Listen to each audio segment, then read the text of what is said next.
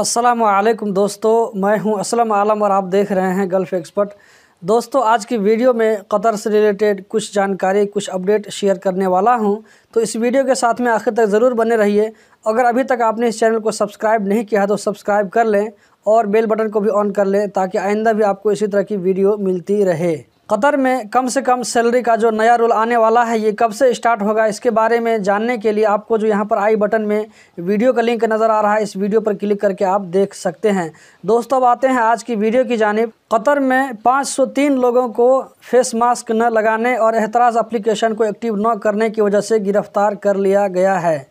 चार सौ छियानवे लोगों को फेस मास्क न पहनने की वजह से, जबकि सात लोगों को एहतराज एप्लीकेशन एक्टिव न करने की वजह से, जबकि उनचालीस लोगों को छोटी गाड़ी में जितने लोगों को बैठने की इजाज़त है, इसकी खिलाफ वर्जी करने पर गिरफ़्तार करके पब्लिक प्रोसिक्यूशन के हवाले कर दिया गया है, जहाँ उनके खिलाफ कानूनी कार्रवाई होगी। कतर में अभी फेस मास्क न पहनने की सज़ा तीन साल जेल और ज़्यादा से ज़्यादा बीस हज़ार रियाल का फ़ाइन आ सकता है।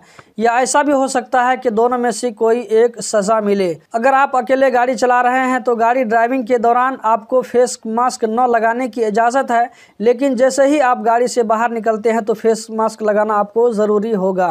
मिनिस्ट्री ऑफ़ हेल्थ कतर ने तमाम ऐसे लोगों जिनका एज, जिनकी उम्र साठ साल या इससे ज़्यादा हो गई है, ऐसे लोगों को कोरोना वैक्सीन लगवाने के लिए कहा गया है। चाहे वो कतरी हो या खारजी हो, जिनकी भी उम्र 60 साल या इससे ज़्यादा हो गई है उनको जल्द से जल्द कोविड 19 का वैक्सीन लगाने के लिए बोला गया है। क्योंकि अभी कतर में कोरोना पॉजिटिव का केस बढ़ रहा है तो ऐसे सिचुएशन में चार ऐसे लोगों का डेथ हो गया, जिनकी उम्र 60 साल या इससे ज़्यादा थी। तो इसीलिए कहा जा रहा है कि जल्द से जल्द ऐसे लोग कोरोना का वैक्सीन लगवा लें।